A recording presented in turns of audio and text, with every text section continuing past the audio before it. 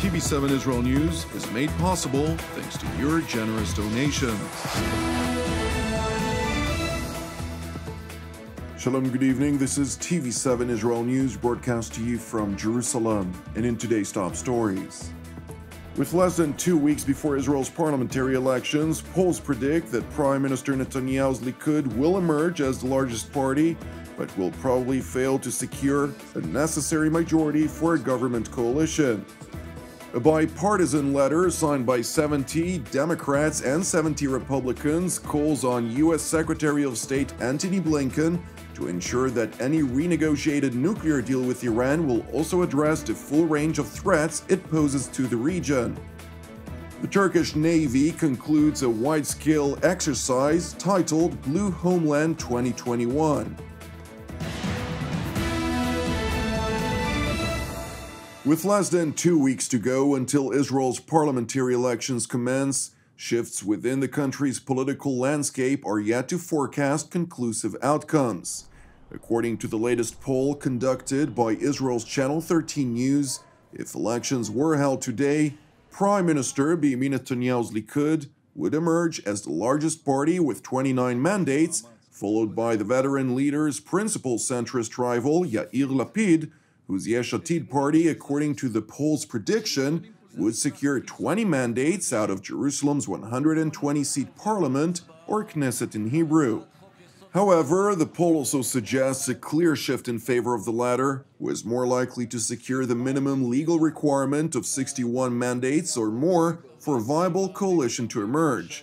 Therefore, while 35% of respondents regard Netanyahu as the best suited to serve as prime minister, in contrast to Lapid, who secured 20% support, Israel's parliamentary system may bring an end to Netanyahu's hold of Jerusalem's seat of power. It is important to highlight that two weeks in the context of Israeli politics is considered to be a relatively long period of time that may bring about substantial fluctuations. Nonetheless, the latest trend in favor of the centrist Yesh Atid party has drawn its leader into the crosshairs of incumbent Prime Minister Benjamin Netanyahu, who evidently stepped up his campaign focus by amplifying Yair Lapid's lack of security-related experience at a time of increased tensions between Israel and the Islamic Republic of Iran. יש פה החלטה גורלית. אני מקדיש את מירב שנותיי בעשרות השנים האחרונות למנוע מאיראן להתחמש בנשק גרעיני. אם לאיראן יהיה פצצות אטום, היא מתכוונת להכחיד אותנו. והשאלה איך עוצרים את זה. משום שהם לא עוצרים את זה, וזה לא ססמת בחירות כאן, זה עסק רציני מאוד. אם אתה לא יכול לעצור את איראן, אז יש איום קיומי על המשך קיומה של מדינת ישראל. והשאלה מי יעצור את זה. כשהלכתי לקונגרס להתנגד להסכם הגרעין המסוכן עם איראן, יאיר לפיד, שמבקש בסתר להגיע לראשות הממשלה בעוד שבועיים, אמר שאני גורם נזק לביטחון ישראל. אז מי יעצור את איראן? יאיר לפיד, הוא יעצור את איראן? הוא לא יעצור את איראן, ולא גדעון, ולא בנט. מי שיעצור את איראן זה רק אנחנו, ממשלת ימין יציבה של הליכוד בראשותי. In contrast to Netanyahu's election campaign emphasis on his government initiated COVID inoculation campaign and defense policy, Lapid is seemingly focusing his party campaign on the necessity to deal with the economic ramifications of the corona crisis, while in tandem, repeatedly highlighting perceived failures of the incumbent government in all that relates to domestic challenges after three consecutive elections in less than two years. מדינת ישראל בעיצומו של משבר כלכלי. הממשלה שופכת כסף כדי להשתיק אותו עד הבחירות, אבל הוא שם. 90 אלף עסקים נסגרו השנה, מאות אלפים נמצאים בחל"ת, אנשים שוקים בחובות.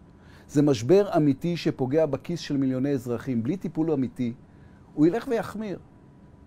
מה שמחמיר את המצב זה שהמשבר לא מנוהל. קורונה יש בכל העולם. ממשלה של 36 שרים שלא מסוגלים לעבוד ביחד, רק אצלנו. מדינה בלי תקציב כבר שנתיים וחצי, רק אצלנו. מודל חל"ת שהוא פשוט עידוד לכלכלה שחורה, רק אצלנו. אז מה עושים? הדבר הראשון שאנחנו צריכים, ובלעדיו לא יקרה כלום, זו ממשלה.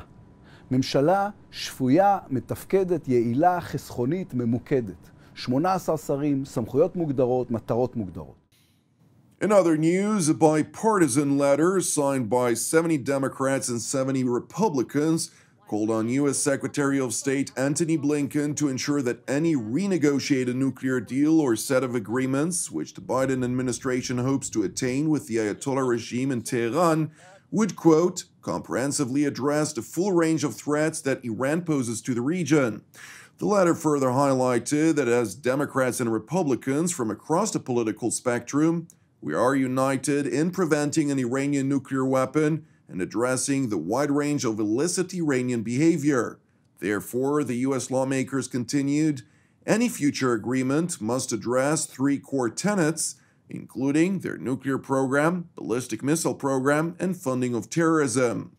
In response to this letter, which was initiated by Democratic Representative of Maryland Anthony Brown and the Republican Representative of Florida Michael Waltz, Iranian Foreign Minister Muhammad Javad Zarif released a statement on his Twitter account in which he asserted that the 2015 Joint Comprehensive Plan of Action was already comprehensive, while further claiming that the 2015 nuclear deal was only implemented by Iran. The Ayatollah regime's top diplomat went on to reiterate Tehran's demand for the US and E3, in reference to the United Kingdom, France, and Germany, to live up to their commitments made under the 2015 nuclear deal. Only then, Zarif concluded, Iran will reciprocate. Meanwhile, the United States announced fresh sanctions on the Islamic Republic over human rights abuses. In a statement published by the State Department, it stressed that the United States made clear its concerns about the abuses the Iranian government continues to perpetrate against its citizens, including the unjust detention of far too many in deplorable conditions. Consequently, two Islamic Revolutionary Guards Corps interrogators were targeted with sanctions over, quote, their involvement in gross violations of human rights, namely the torture and or cruel, inhumane, or degrading treatment or punishment of political prisoners and persons detained during protests in 2019 and 2020 in Iran.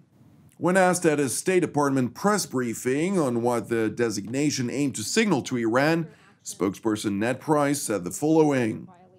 Well, I think the message we're trying to send is clear. The United States is uh, committed to promoting accountability for those responsible for human rights violations uh, and abuses. Uh, that includes in Iran, um, as well as any other country uh, around the world. It's precisely why today Secretary uh, Blinken announced the public designation of uh, these two Iranians under Section 7031 uh, C of the Department of State Foreign Operations and Related Programs Appropriation Act.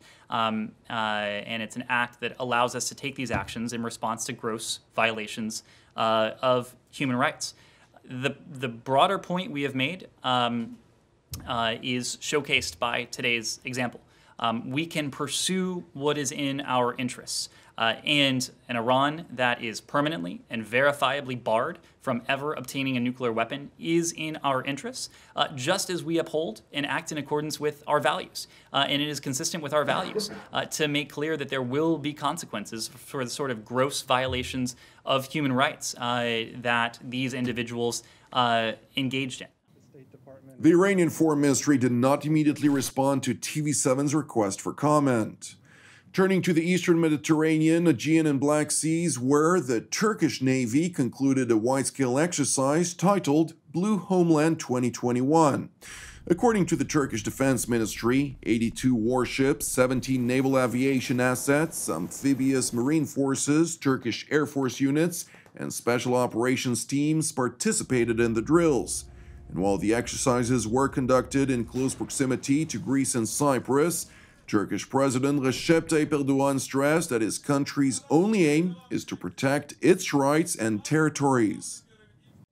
Bu yıl çok daha güçlü, çok daha kapsamlı, çok daha organize bir şekilde yaptığımız tatbikatla yerli ve milli silah sistemlerimizi test ediyoruz.